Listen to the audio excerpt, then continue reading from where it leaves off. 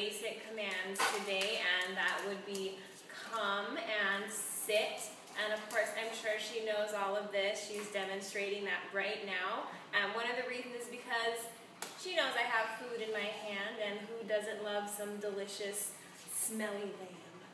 Ready? All right, so right in the beginning, when we ask our dog to come to us, usually we say the dog's name and come. Um, however, a lot of times it's inconsistent. Sometimes the dog gets a little bit distracted. Maybe you guys go out, you know, to the beach or something, and she sees another dog or a person. She really wants to say hi or play with them, and then you call her, and she looks back at you and decides she's going to continue going on. But we're going to work on come and making sure that we always have her come to us when we ask her to. And also one of the pluses about having um, the really, really nice island is that we have the beach. And then, of course, on the beach, you want your dog to play. And if you decide to start training her um, in uh, public situations, a long training leash is highly recommended. This gives you complete control over her. So when you're practicing things from a distance like come or even stay, wait, uh, things like that, having a long training leash, 20 foot, 15 foot, or even 30 foot is um, highly recommended. So this is an awesome training tool, enables you to go out into the world and still have her under control. Occasionally, there's some hiccups with come, so this makes sure that you always have her come to you. Okay, so Miss Jasmine will be assisting us here. I'm going to whip out this training leash.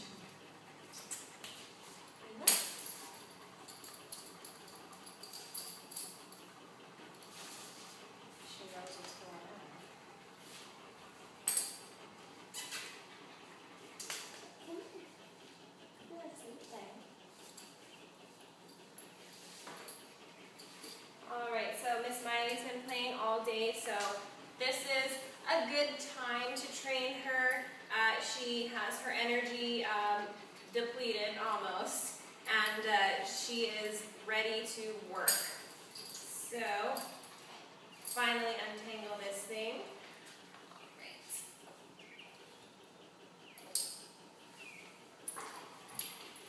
Okay, so she is currently laying down, and uh, when I ask a dog to come, uh, either one, you would just say the word come, or two, you can say the word and do a big motion. So when we do ask a dog to come, uh, especially if we think that they're distracted, maybe they got away from us or something like that, we like to use a big motion. So when we ask a dog to come, we're going to use this motion here. And when we consistently use that, the dog knows uh, the motion from a distance. So if they're, you know, yards and yards away from you, they look back at you. Perhaps they can't hear you say come, but they know that you're asking them to come because you're doing this motion. And uh, one of the ways to entice a dog to come to you when uh, physical affection is not enough is food. And we have some food for her here. What we're going to do is place the food in the palm of our hand, close our fist, and that point, we're going to use big motion and be really excited to ask her to come to us. And the leash is here, just in case she decides she doesn't really want to move. I'm going to make sure that she follows through with the command, and uh, I'm going to lead her in and reel her in like a little or big fish. Okay, so you do have a treat in your hand, doesn't do anything if the dog doesn't know there. So one of the perks about having the treat in your hand while asking her to come to you is that when you are out and if she does get away or she gets a little bit too far and you have that same motion, looks like you have a treat in your hand but she doesn't know. It just looks like it. So she'll be more inclined to come to you but you may not actually have a food reward for her. Okay. Good. All right, so this is great. As soon as she comes, I want to make sure that she sits down. This gives me the opportunity to grab her by her collar. Make sure that she's secure and she can't go anywhere. Good, come, good, come.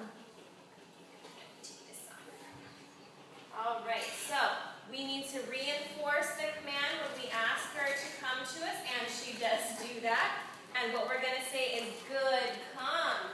And this is the last thing that the dog hears.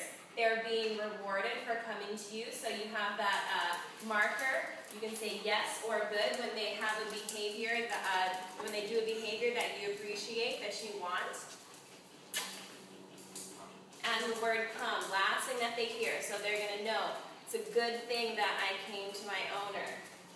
All right, so I'm going to let her just kind of do her thing, sniff around. Money!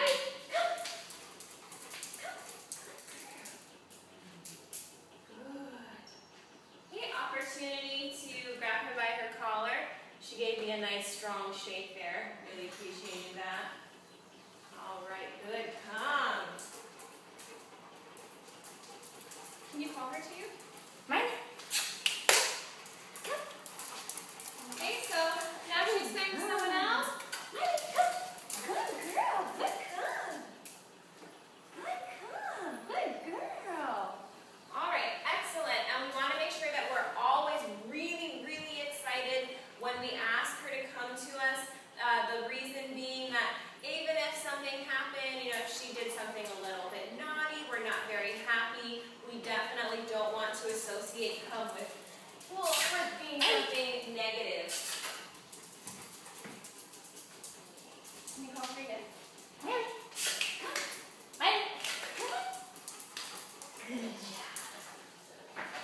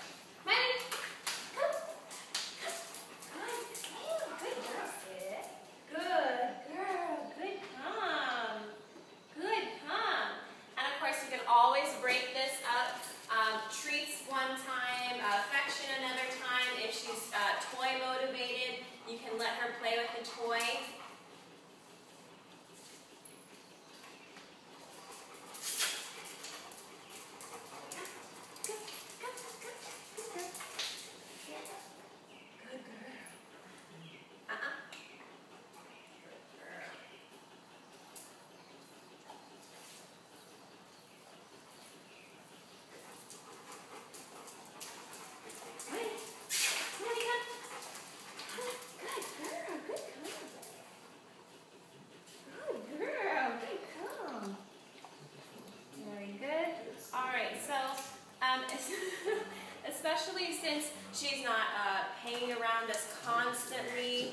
Um, you know, she, of course, we're not her owner, so she's not going to be extremely excited to come to us, uh, especially since she doesn't see us all the time. So us having food as a reward is a major plus. She's currently getting affection from someone. Malie, come! Good, good, good girl. Oh, good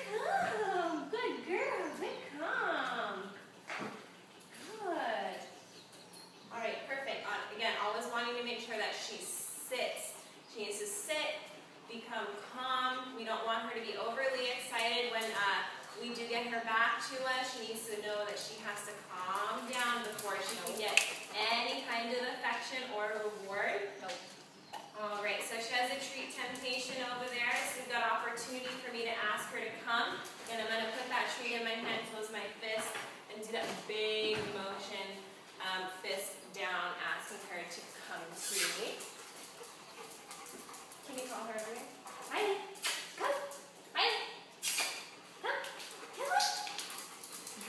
job. Good job.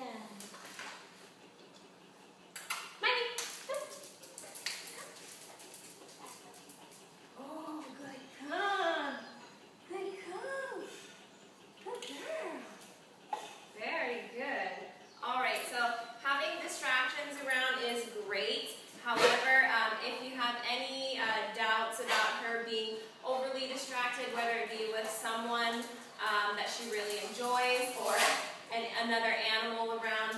Start with baby steps. So if you know that she gets really excited when she sees a certain person, um, have her come to you when she has uh, some people around that she already knows. Having her come to you, making sure that she can follow through with that command. Always want to make sure that the training is a positive experience for her.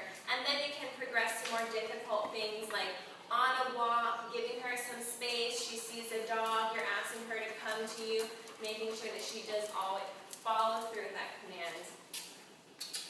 Malie.